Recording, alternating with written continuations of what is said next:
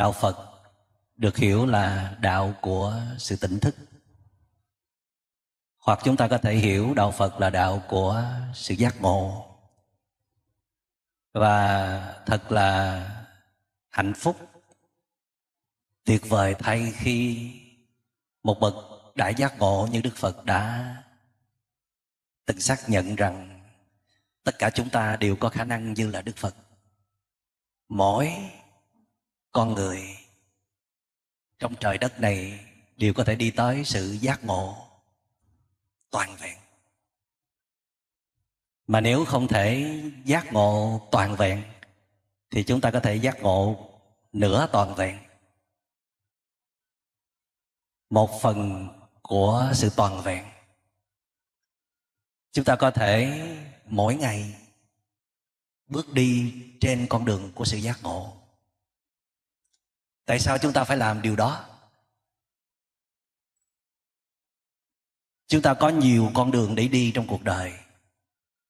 Nhưng có thể nếu chúng ta đi những con đường đó và sống theo cái bản năng tự nhiên của mình á, thích gì làm nấy mà không có đi qua sự tu luyện á, thì nhìn lại, chặng đường chúng ta đã đi qua, chúng ta thấy rất nhiều khổ đau, mệt mỏi và kể cả chán chường. Đôi khi chúng ta chán con người, chán luôn những người thân yêu của mình và chán cả cuộc đời. Chắc là lúc đó chúng ta bị trầm cảm mất rồi.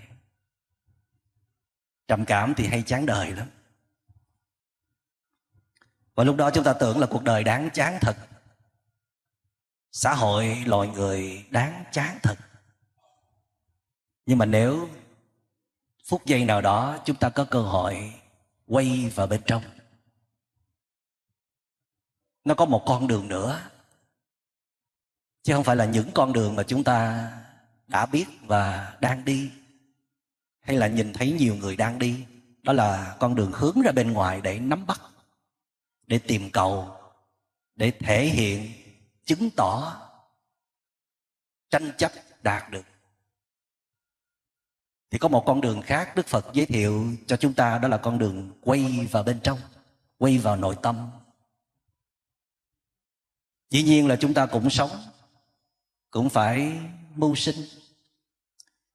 Chúng ta cũng phải đóng góp sự có mặt của mình cho gia đình, cho xã hội với những bổn phận và trách nhiệm cơ bản tuy nhiên nếu chỉ có hướng ra bên ngoài thôi đó, chỉ có tác động trực tiếp vào môi trường, hoàn cảnh và con người thì thế nào chúng ta cũng sẽ dập đầu lộ trán, cũng sẽ lãnh đủ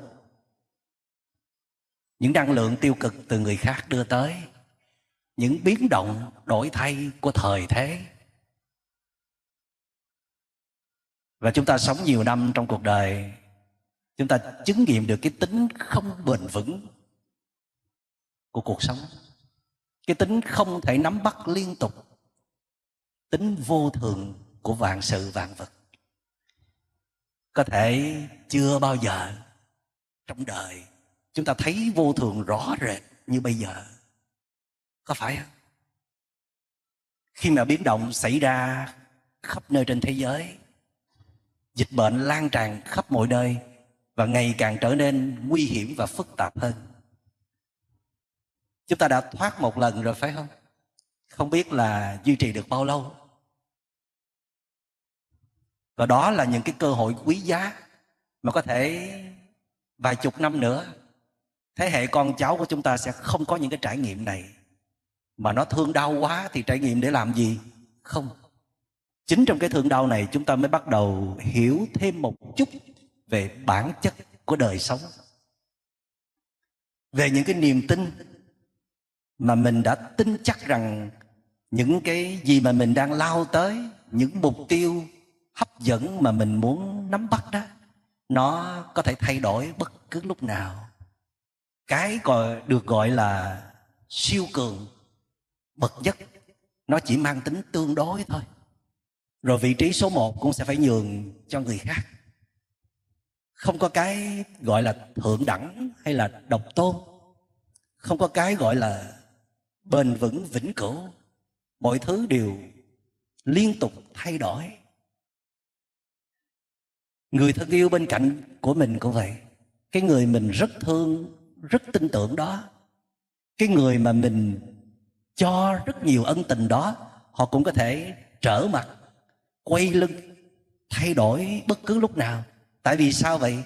Vì họ là một con người.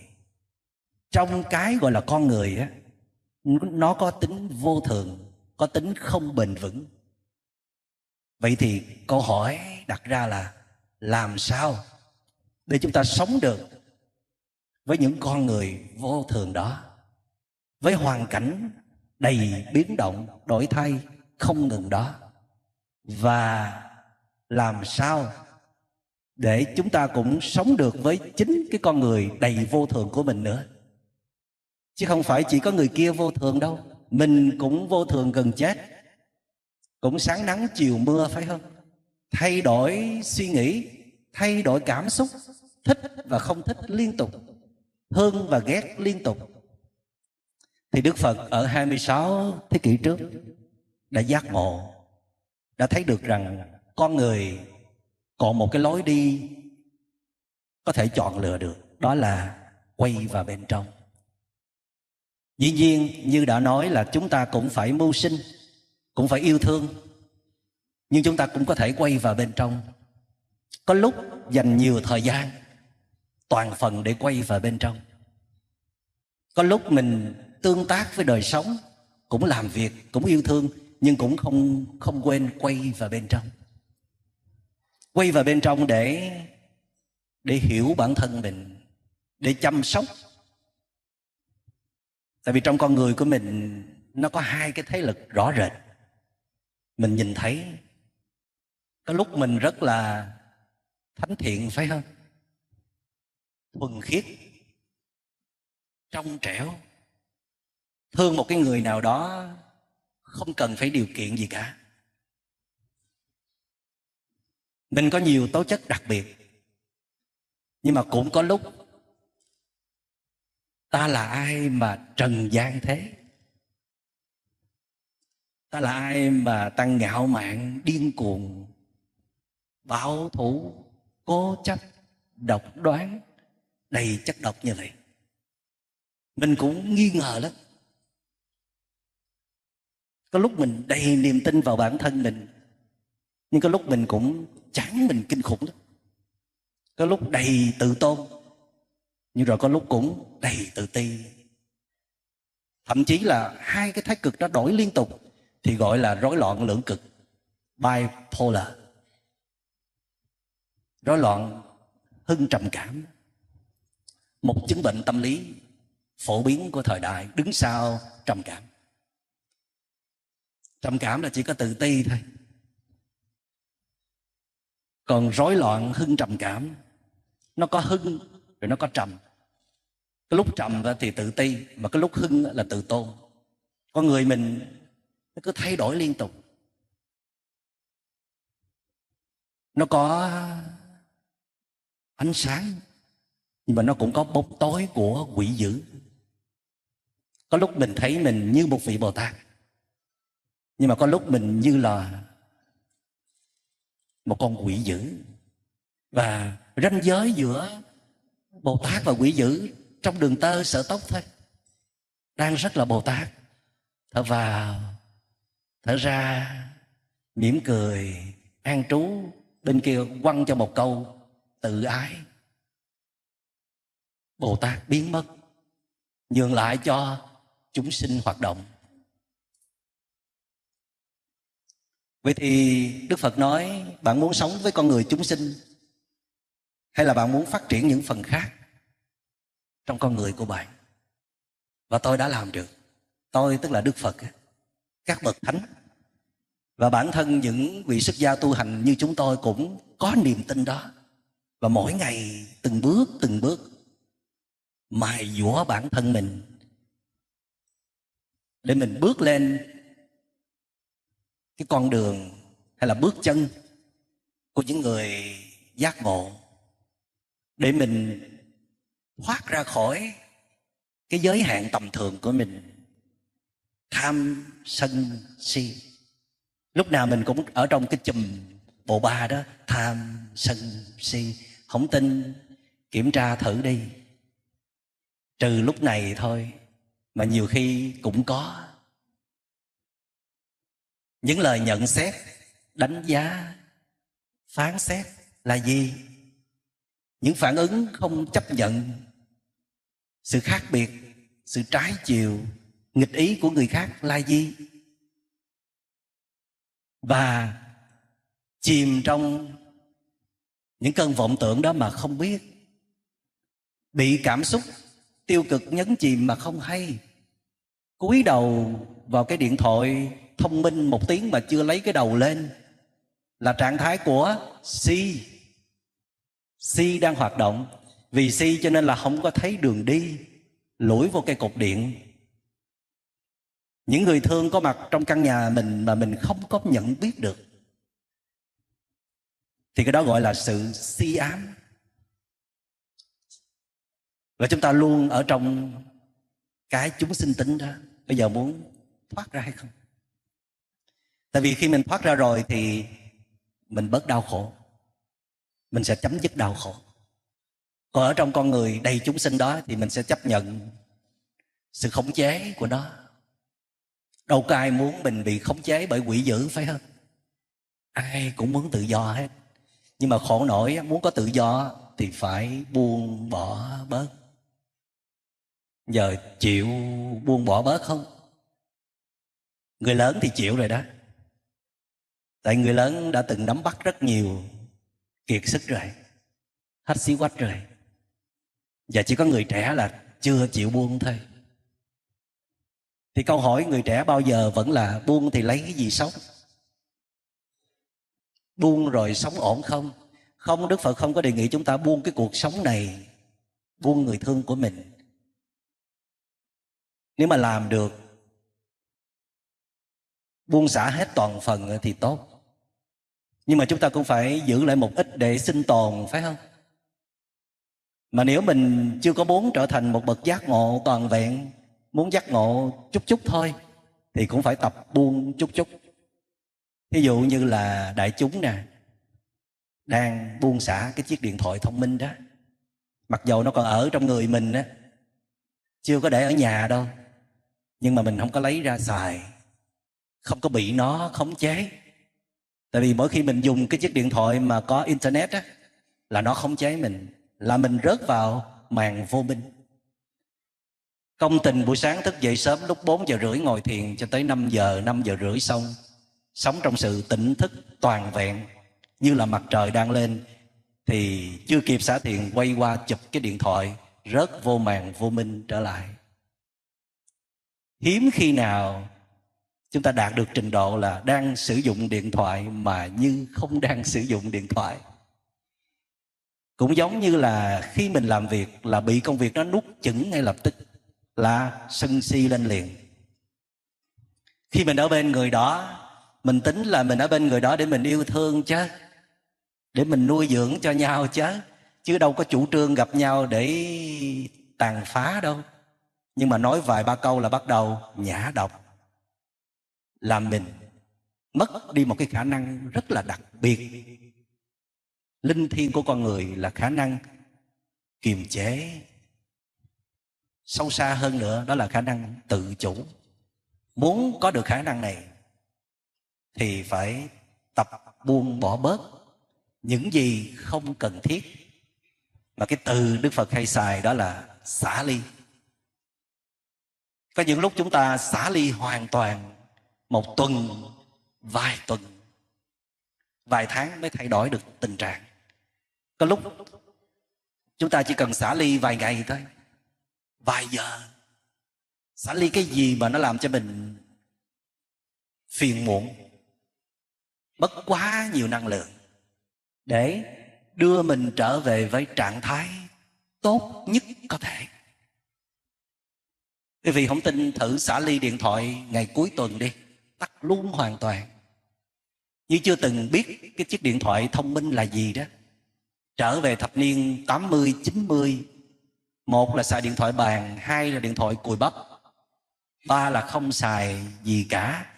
Thì sẽ thấy ngày đó mình dư ra rất nhiều năng lượng mà không biết từ đâu là từ cái việc mình xả ly chiếc điện thoại. Mà nếu như người ý tức là người ấy mà cũng là cái mối khổ sở, phiền muộn của mình á. Thì cũng nên xin người đó cho mình được xả ly họ vài giờ. Không nói chuyện, không tương tác, không gặp nhau để làm gì? Để mình được trở về với chính mình. Không gặp nhau mà mình phải trở về với chính mình thì người đó mới duyệt à. Chứ còn không gặp nhau mà đi gặp người khác. Đi ôm cái chiếc điện thoại là người đó không duyệt. Đức phật nói, con người chúng ta luôn luôn có bóng đêm và ánh trăng sáng. Tâm chúng ta nó có hai phần, một phần phàm tục, một phần thánh thiện. Chúng ta tưới cái nào nhiều mỗi ngày thì cái đó nó sẽ mạnh hơn. Và cuộc đời này không ai có thể giúp chúng ta lúc nào cũng thánh thiện đâu. Họ chỉ mời dậy tham sân si, quỷ dữ của chúng ta thôi thật ra chúng ta phải đủ thông minh, tỉnh táo, bản lĩnh để tách mình ra khỏi những cái nanh vuốt của cuộc đời. Mặc dầu cuộc đời cũng có những mảng sáng, cũng có những điều tích cực, cũng có những điều hay, thì lúc đó chúng ta sẽ tận hưởng và chúng ta được nuôi dưỡng. Nhưng khi mà cuộc đời đưa nanh vuốt tới, thì phải nhận ra và tránh sang một bên, rút về, quay về nương tựa quy y, tự quy y, nương tựa nơi chính mình. Làm sao để mà trăng nó nhiều hơn là bóng đêm, thì cuộc đời mình mới ổn được. Còn bóng đêm mà nhiều hơn trăng sáng, nhìn vào âm u, mình là thấy mình âm u rồi đó trang điểm cỡ nào thì cũng âm u. Mặc đồ đẹp, sức nước hoa cỡ nào cũng là âm u. Những người làm công tác trị liệu tâm lý như chúng tôi đó, nhìn vào mắt là thấy âm u, dù là mắt xanh hay là mắt đỏ. Nhìn là biết có trầm cảm hay là không. Nhìn là biết có tổn thương tâm lý hay không. Và khi con người mình đã âm u như vậy rồi thì ngồi chỗ nào thì cũng biến chỗ đó thành âm u trừ phi mình ngồi bên một cái người đạo lực cao thâm, năng lượng đặc biệt, thì mình mới không có đè bẹp được cái năng lượng bên kia thôi. Mà bên kia tới hai người, nhiều người cũng âm u. Một người âm u ngồi bên cạnh một người âm u. Thì thành ra ánh sáng à. Lấy độc trị độc à. Rồi một người âm u ngồi bên một nhóm người âm u. Thì thành ra âm u, cực kỳ âm u. Bây giờ một người đang có trăng sáng trong lòng, ngồi chung với đại chúng, cũng có trăng sáng trong lòng, thì không thể nào âm u được. Phải là trong năng lượng của trăng sáng. Để chúng có thấy là mình đang ngồi ở đây rất là đông, nhưng mà rất là khỏe, rất là nhẹ, như là không có ai ngồi xung quanh mình cả. Tại sao vậy? Nếu như trong năm sáu trăm người ngồi đây mà không có một cái sự thực tập nào đó, ai cũng thả rong cái tâm của mình cho tham sân si, trỗi dậy, cho cái âm u trỗi dậy thì mình có ngồi ở đây nổi không? Không nổi đâu. Mình từ ngồi trong rạp hát rồi. Nhưng mà trong rạp hát là nhờ mình chú tâm vào phim ảnh. Cho nên là mình quên đi cái thực tại.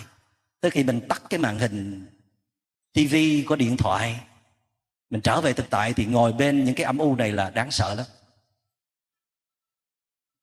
Và đó là lý do tại sao mà chúng ta cần tu tập chung với nhau.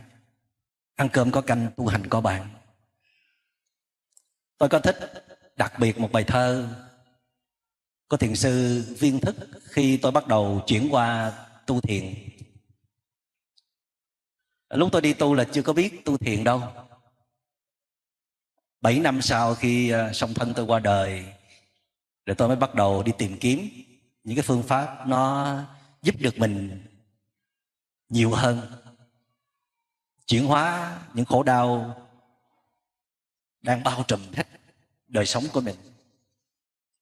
Thì tới hai năm sau đó, tức là tu 9 năm rồi tôi mới bắt đầu tự mình tập tành, thực tập thiền và lúc đó tôi có biết cái bài thơ của thiền sư viên thức.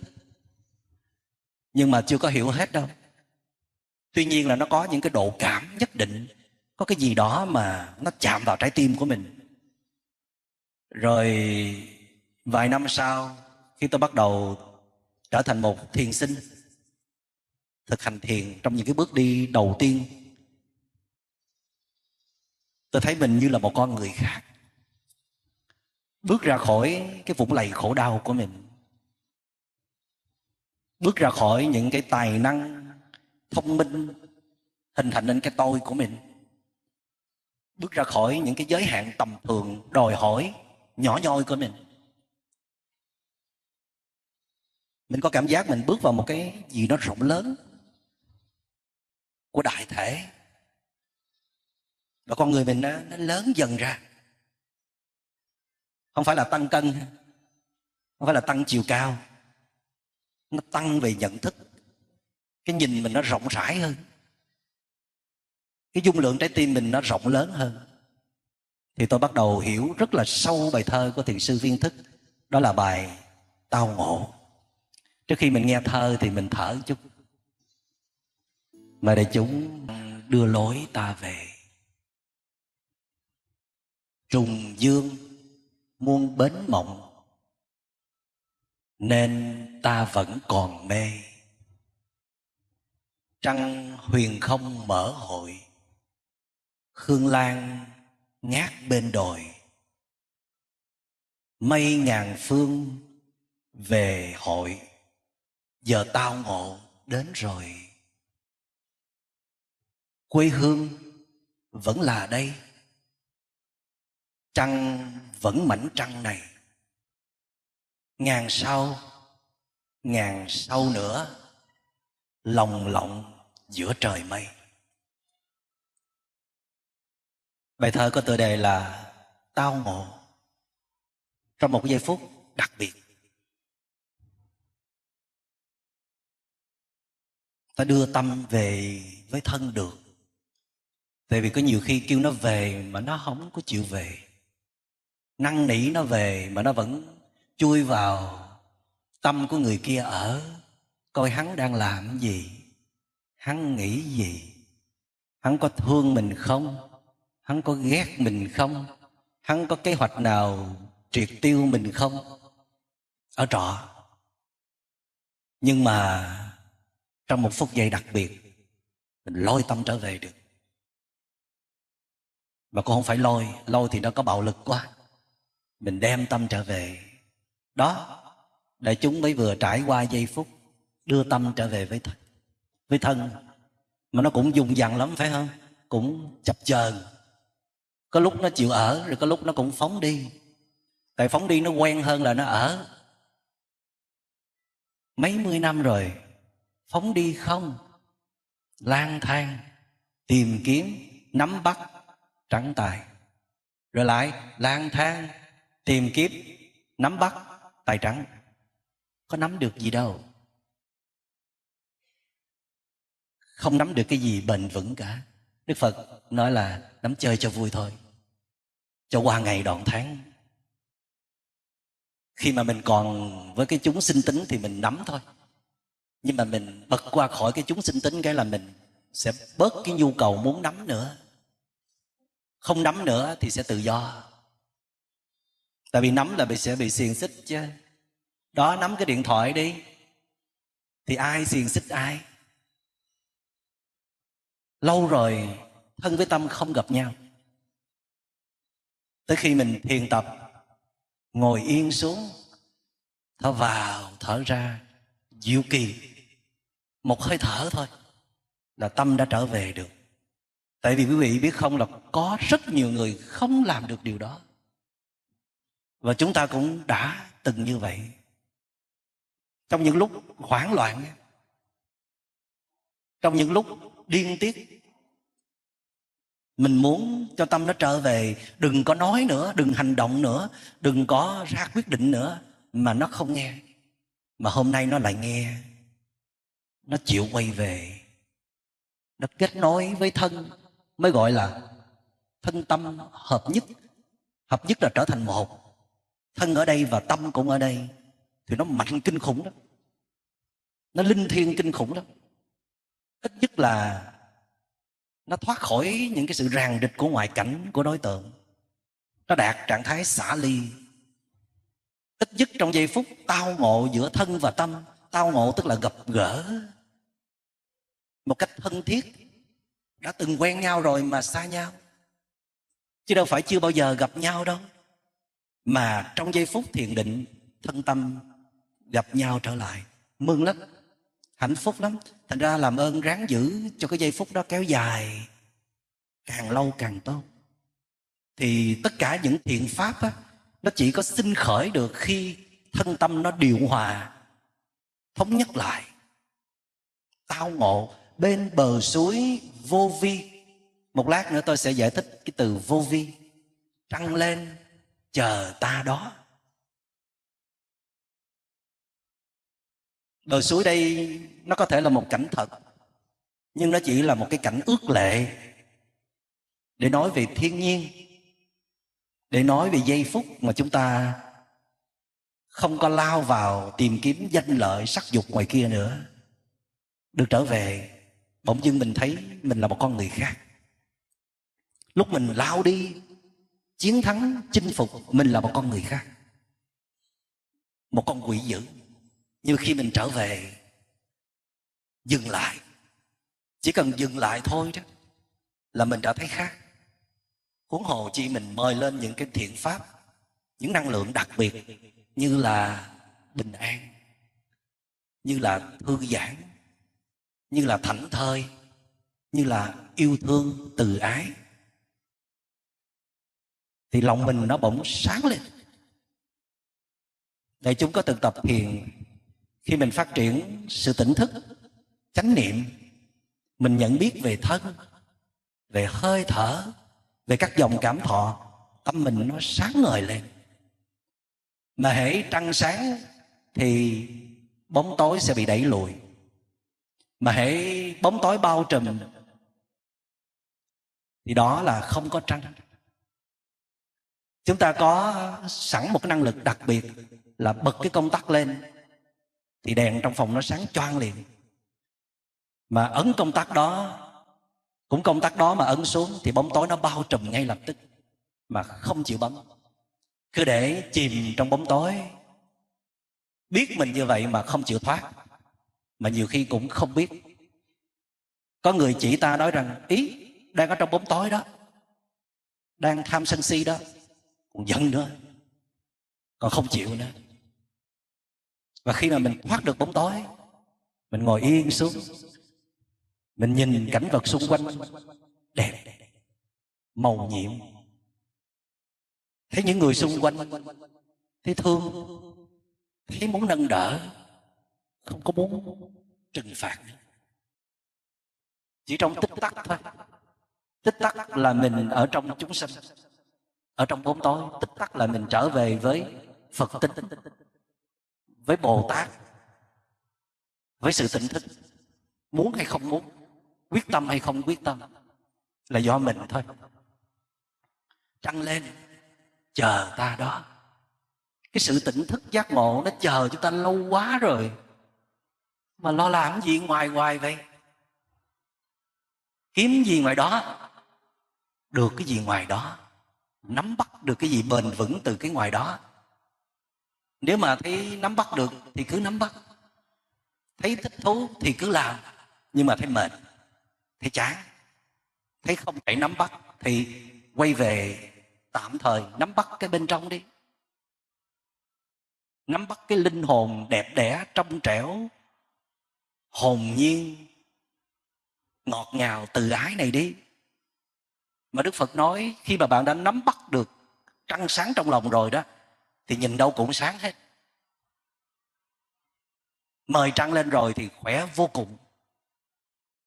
Không cần phải dẹp bóng tối, không cần phải dẹp hắn, mà hãy dẹp bóng tối ở bên trong.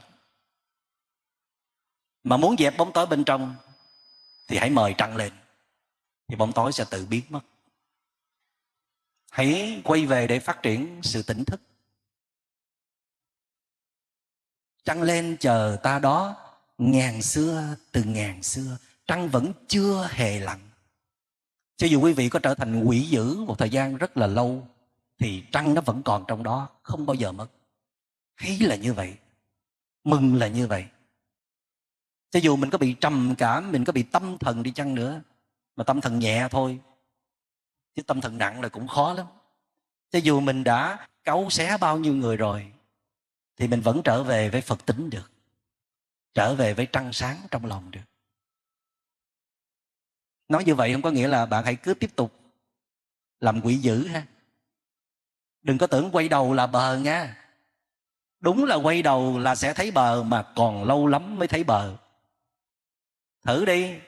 Đi trên đại lộ á mà chạy trượt qua khỏi cái exit rồi đó, cái cho thoát rồi đó, quay được không? Đôi khi là mất nửa giờ, một giờ, rồi mới có một cái ngã khác đó. Lỡ trượt qua rồi là khó quay lại lắm. Cho nên một vị thiền sư đã nói là dù đã quay đầu nhìn lại nhưng mà bến giác vẫn còn xa đó. Chứ không có dễ đâu, cho nên là thấy cái chỗ đó không có hấp dẫn lắm không có nắm bắt được thì đừng có lao tới nữa. Quay về là vừa rồi, trăng lên chờ ta lâu rồi. Cần bình yên lâu lắm rồi mà không chịu quay về giúp đỡ. Bồ tát đang ngộp thở bên trong, không sống sót được. Tại vì mình đâu có nuôi tâm từ đâu mà bồ tát sống. Mình nuôi tâm độc địa không? Bồ tát chết tươi chết tức tuổi. Nhưng mà may là bồ tát không chết. Bồ tát vẫn còn ở dạng tiềm ẩn, hạt giống. Mà muốn mời hạt giống trở lại cũng lâu lắm đó, công phu nhiều lắm mới được. Trăng lên chờ ta đó, ngàn xưa, từ ngàn xưa, trăng vẫn chưa hề lặn. Ta đi vào viễn xứ. Trăng đưa lối ta về viễn xứ là đi xa lắm. Nhiều khi mình ở trong lòng người khác là viễn xứ đó. Canh me suốt ngày mà. Mà viễn xứ nhiều khi là móc trong túi ra và đưa lên là viễn xứ liền. Phải không? Đi vạn dặm luôn đó. Đi cả thế giới. Còn cái gần nhất là ta thì không biết gì cả. Bây giờ hỏi tình trạng dịch bệnh việt nam ngày hôm nay như thế nào? Biết tốt tình trạng của mỹ như thế nào về chính trị, về kinh tế, về dịch bệnh? Biết tốt còn tình trạng sức khỏe sao? Tình trạng tâm hồn sao? Tham sân si sao? Chất liệu bồ tát, thánh hiền sao? Không biết. Thì đừng hỏi tại sao khổ nhiều hơn là an vui, hạnh phúc. Thật ra mình mình đi lâu quá rồi. Thiền sư trần nhân tông nói là mình là một cái thân lữ khách đó lâu quá rồi. Không chịu hồi hương. Thử hồi hương đi. Hồi hương là cái chỗ an lành, cố hương, quê hương, là nơi ngọt ngào, là nơi bình yên, là nơi nhiều yêu thương, rất nhiều kiều bào đang hồi hương đó. Mà sao ta ở trên quê hương mà vẫn chưa chịu hồi hương? Ta ở quê hương ở bên ngoài nhưng mà không ở được quê hương trong lòng cho nên bài pháp thoại này là trăng đưa lối ta về. Hãy nương theo trăng, nương theo chánh niệm, sự tỉnh thức, để quay về với cội nguồn của sự tỉnh thức, của sự giác ngộ, của trí tuệ và từ bi của một con người bao dung độ lượng.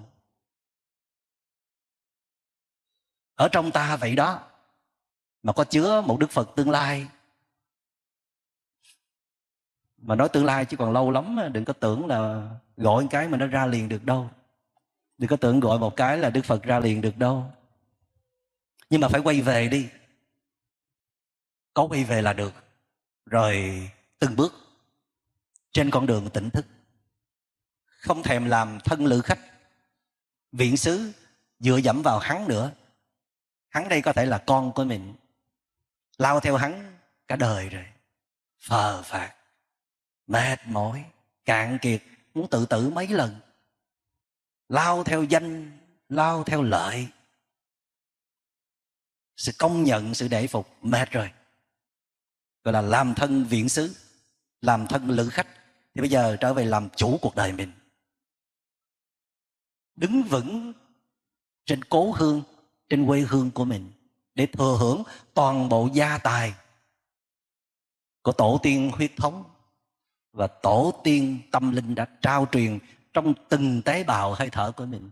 Coi vì chứ trong cái DNA nhiễm thể đó, chứa rất nhiều kho tàng quý giá. Coi vậy đó, tất cả những gì chúng ta học hỏi được trên đường đời chưa xài được bao nhiêu hết.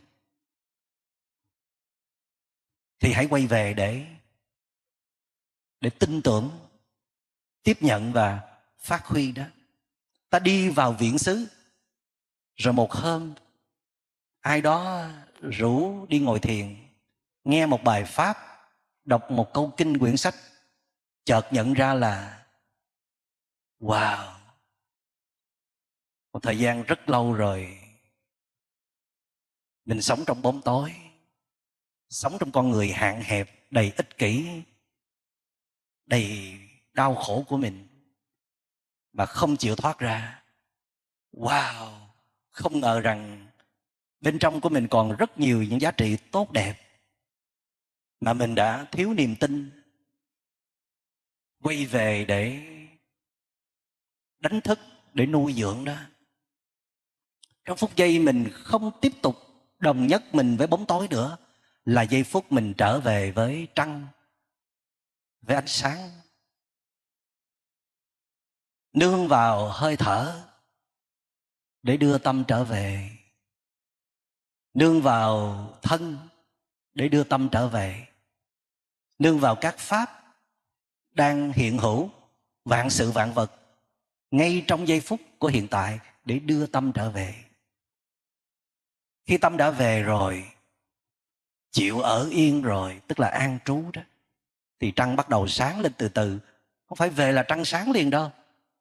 Mây, che phủ phần trăng.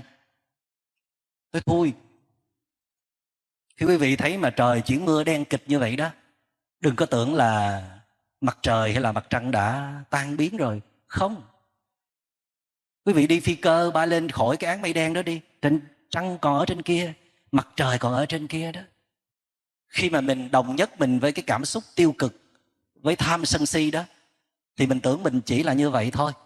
Nhưng khi mà mình thoát khỏi cái án mây đen đó, hoặc đó một cách khác là đẩy cái án mây đen nó qua một bên thì trăng hiển hiện. Từ một cái tâm đầy giận dữ, đầy u mê, bỗng chốc dựa vào các pháp thực hành mà tìm thấy được tâm chân thật của mình. Trăng mới nó chính là tâm chân thật của mình, là cái cốt lõi tinh yếu nhất của tâm hồn. Chứ không phải là tham sân si kia, cũng phải là một vài cái tài lẻ, sự thông minh kia. Cho nên mới gọi là chân tâm. Trăng là chân tâm, là tâm chân thật. Còn bóng tối, tham sân si là vọng tâm. Cũng là một cái phần tâm mà cái phần rác, chứ không phải là phần hoa. Ta đi vào viện xứ, trăng đưa lối ta về. Nhưng trùng dương, muôn bến mộng, biển đời rộng quá. Sao biết để quay về đây? Nên ta vẫn còn mê. Đọc kinh rồi, quy y rồi dự mấy khóa thiền rồi mà vẫn còn mê. Sao kỳ vậy? Thì cũng bình thường thôi, là phải tu tiếp chứ, phải liên tục chứ, phải tăng tốc chứ. Tu sơ sơ, tu tài tử mà. Sao mà thoát được cái con quỷ dữ chúng sanh phải không? Tu gắt của kiều còn chưa thấy gì nữa trùng dương muôn bến mộng. Cuộc đời này đầy cạm bẫy, đầy biến động, cho nên ta bả đã bị dập vùi theo. Nhận ra rồi, thấy rồi, cho nên là quyết tâm quay về. Trùng dương muôn bến mộng, nên ta vẫn còn mê. Trăng huyền không mở hội, hương lan ngát bên đồi. Mây ngàn xưa về hội, giờ tao ngộ, tới rồi tới chưa? Tới rồi. Sao biết tới rồi? Ông ngồi trước mặt lù lù đó. Ông đang gọi mình tu đó. Các pháp, đức thế tôn trao truyền mấy mươi thế kỷ rồi. Các bậc thầy tâm linh đã trao truyền bao nhiêu năm trời rồi. Sự giác ngộ ở trong lòng cũng đang chờ chực thèm lắm một bước ngoặt của cuộc đời, một sự lột xác. Mà chưa chịu hả? Đợi đại dịch tới mới chịu hả? Đợi te tua tơi tả như bên kia rồi mới chịu hả? Muốn vậy thì chờ đó đi. Còn muốn thoát thân trước, quay về. Ngay bây giờ, khi đã ý thức được là phải tìm mọi cách quyết tâm để thực hiện cho bằng được, thì mới có hy vọng thoát được cái móng vuốt của chúng sinh tính. Còn không nó rớt trở lại bây giờ mà ngưng bài giảng này, bước ra khỏi chùa là nó trở lại liền. Mà cái cả ngồi đây nó cũng trở lại nữa đó. Nếu mà không chú ý vào bài pháp, sơ sẩy cái là nó trở lại ngay lập tức. Cho nên đã tới lúc quay vào bên trong chưa? Đã tới lúc quay về để làm mới lại cuộc đời mình chưa? Đã tới lúc bước lên một cái cung bậc mới cao ráo hơn trong tâm hồn chưa? Đã tới lúc quay về để phát triển đời sống tâm hồn chưa? Nếu ý thức đã tới lúc rồi, thì phải xách gói lên đường.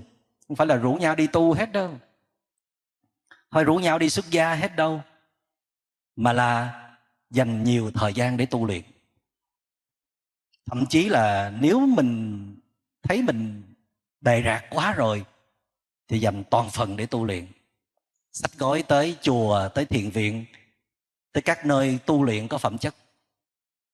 Để để được nâng dậy, để được đánh thức. Ước gì lúc nào mình cũng được nhắc nhở như vậy. Thì mình đâu đến nổi tệ, phải không? Mà ai có rảnh đâu mà nhắc mình hoài như vậy. Nhân viên làm sao đủ để mà gặp nhau hoài như vậy. May là đức phật nói, ai cũng có một vị thầy ở trong lòng inner master, một người thầy ở bên trong. Đó là sự tỉnh thức hay là chánh niệm. Hãy để cho chánh niệm dẫn đường chúng ta. Hãy để cho sự tỉnh thức soi đường chỉ lối cho chúng ta. Lúc nào mà mình đang bị cảm xúc khống chế, bị vọng tưởng che lấp, đừng quyết định gì hết. Đừng tin vào cái thấy của mình. Hãy quay về thiền tập.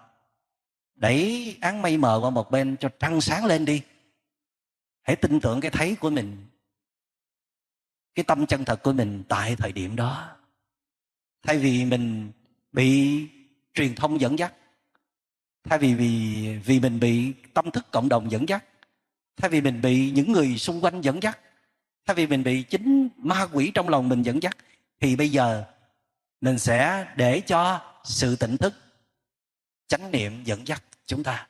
Và đã tới lúc rồi thập diện mai phục. Giữa muôn trùng vây, biến động khắp mọi nơi hết mà còn chưa chịu nữa. Thì còn chờ tới bao giờ? Không phải là bây giờ, thì sẽ là bao giờ? Cảm ơn đại chúng đã lắng nghe.